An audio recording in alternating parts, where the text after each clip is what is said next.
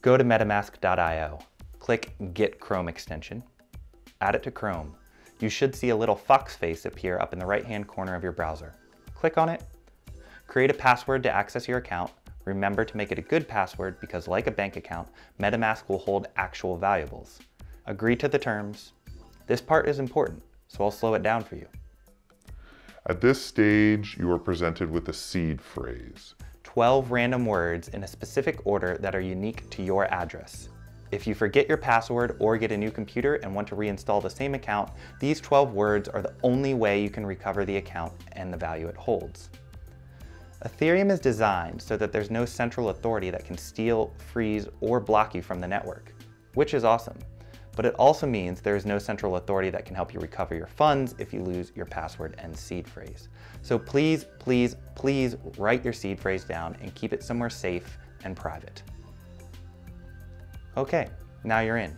Think about that. In about 30 seconds, without having to give up your personal details or be tied to any nation's banking system, you just created an account that anyone, anywhere can send funds to. Pretty cool. All right. If needed, you can purchase Ether directly in MetaMask through Coinbase or Shapeshift. Just click those buttons and you'll be taken through the steps. To receive Ether or ERC20 tokens in MetaMask, you simply have to share your public key with the sender.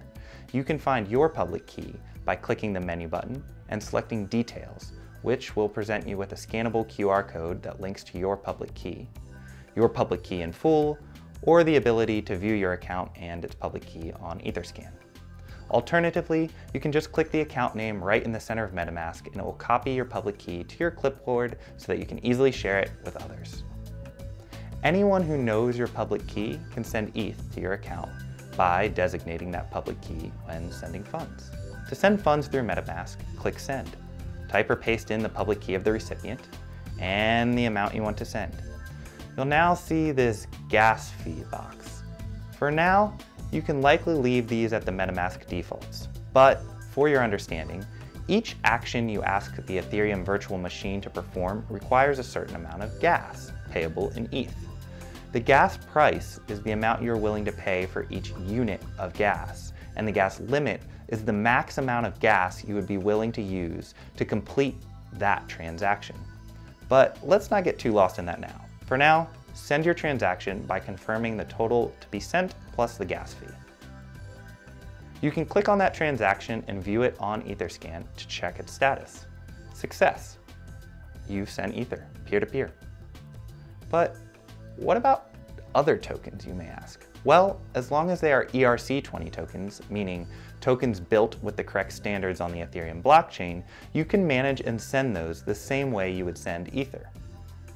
To add tokens to your MetaMask account, you can search for the token inside MetaMask, or get the token contract information via Etherscan and enter it in manually. The only real difference is when sending tokens, gas is still payable in ETH.